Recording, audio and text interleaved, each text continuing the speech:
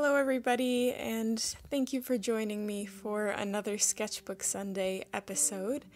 I know I already said this in last week's episode, but I am so happy to be back painting landscape paintings.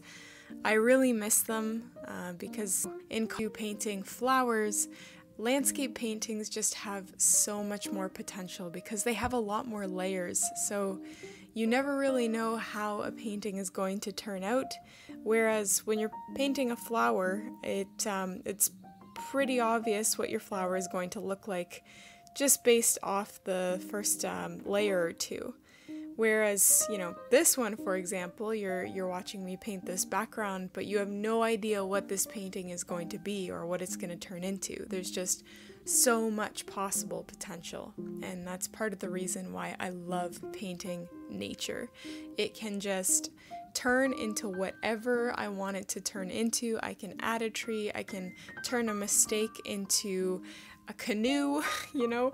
There are just so many different options when painting um, nature and landscapes. So I hope you decide to stick around for this Sketchbook Sunday episode as I update you on what has been going on in my life. I know that in my previous um, floral paintings, when I was doing those real time floral tutorials the last couple months, I chatted a lot about. Um, well, actually, I didn't chat much much at all in those videos, just because I was just so busy doing so many things around our little home in the woods, and um, I figured I would catch you guys up on what I've been up to.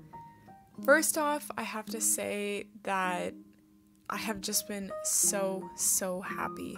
Um, I am finally living a lifestyle that is really suitable to me, and I'm basically just doing what I love all day, every day. I spend all day outside, and there's always something to do. I'm never bored. And the first few months, we spent a lot of time doing really necessary fixes, like things that had to be fixed in the house, um, you know, structural things. Then we sort of moved on to things that were um, not necessarily unimportant, but they were just um, things that made our life a little bit more convenient. And then we started moving on to the aesthetic things. Uh, so, lowest priority, but um, definitely things that make the little homestead feel and look much more cozy. Um, so, a lot has been keeping me busy, and the primary thing that's been keeping me busy has been my vegetable garden that itself was a major project that took um, months to really put together because first we had to clear a large area from trees and weeds and a bunch of other things, and then we had to have somebody come out uh, with a rototiller and till up the whole place. Um, next was getting the lumber, which is basically the price of gold at this point, and constructing the whole thing. And considering we had a fairly, we have a fairly large garden, we are building a fairly large garden.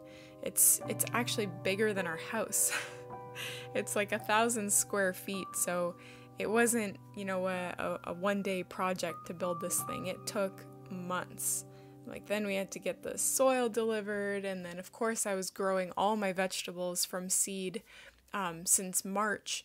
Um, so I, I was, you know, keeping track of those, and there was just a heck of a lot going on in terms of that garden. But I have recently started to finally reap the rewards of my vegetable vegetable garden. I harvest greens on a daily basis now. Um, parsley, lettuce, kale, uh, arugula, all of those are growing in abundance right now, and we have fresh greens every single day for lunch and dinner, and it is just everything I ever wanted in a lifestyle. It's it's very rewarding to, you know, be able to grow your own food and and enjoy it the same day at the dinner table. Anyways, I will be chatting more about what I've been up to and the projects that I'm getting up to um, in some videos going forward. But that's about it for today's Sketchbook Sunday. I really hope you enjoyed this uh, painting. If you did, I encourage you to subscribe so you don't miss any of my uploads. Um, also consider liking this video and submitting a comment if there's something that you would like to share um, or you have a farm or homestead of your own that you would like to um, share in the comments. Thanks for watching and I'll see you guys next week.